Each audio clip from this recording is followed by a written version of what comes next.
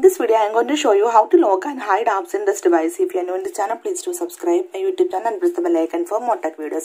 So friends, let's get started. So in this device, you will get the default application how lock to lock and hide apps in this device. You don't need to install any third-party applications. Okay, now let's get started.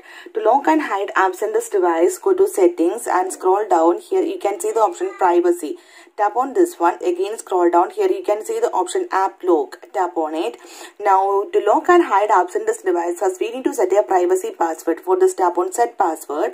So here we need to enter a six-digit password. So if you want to uh, change or uh, se select a different password type, then select the option use a different password type. And from here you can select any pattern, pa any uh, password type. Pattern 4-digit password, 4 to 16-digit password, password with a 4 to 16-digit alphanumeric character. So simply here I am going to select the option 4-digit password. So here yeah, I am going to enter a 4-digit password. Then again confirm the password. That's it. So here we need to enter the answer of the security question. This is the important step in case if you forgot your privacy password. So simply using the security question answer you can reset your privacy password. Okay. And after that tap on done on the top right side. So in this page you can see all the applications from your device and from here you have to select the application that you want to lock. So simply here I am going to select the application Amazon and tap on the option lock. That's it. Now I am going to open the application Amazon. Now tap on this one. Now you can see they are asking for the privacy password. You can see after enter it is unlocked. Okay. At the second time when you try to open the logged application now you can see they are not asking for the privacy password. Now I will show you how to fix this problem. For this again go to settings tap on privacy tap on the option app lock and here we need to enter the privacy password tap on the settings icon on the top right side. So here you can see the option leave apps unlocked.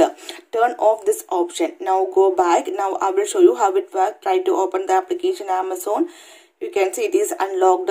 Again close it. Again try to open the locked application. Now you can see every time each and every time uh, when you open the locked application each and every time they will ask the privacy password. Okay?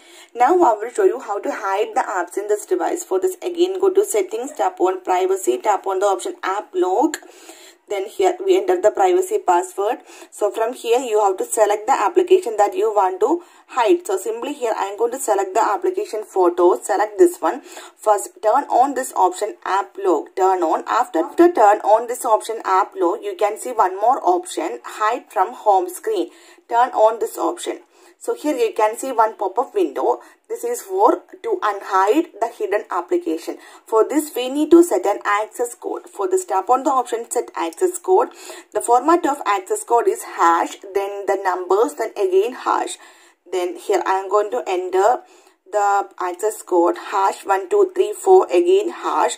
After that tap on done on the top right side okay? So here you can see how to use the access code in this device. Read this after that tap on done. Now go back. I will show you how it works now you can see that photos application is not here. Here i am going to search that application photos. Now you can see that application is not here right? Now i will show you how to unhide this hidden application in this device. For this open the dialer application to enter that access code okay? So here i am going to enter the access code hash 123 hash. For hash. Now you can see that hidden application you can see here. So simply without any third party application you can lock and hide apps in this device. So hope you guys enjoy this video. If you like this one please like and share. And don't forget to subscribe the channel for more updates. Thank you for watching. Thank you. Bye bye